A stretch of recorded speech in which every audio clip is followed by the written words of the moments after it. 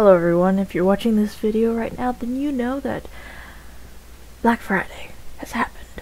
And as on all Black Fridays, we must go for the sales.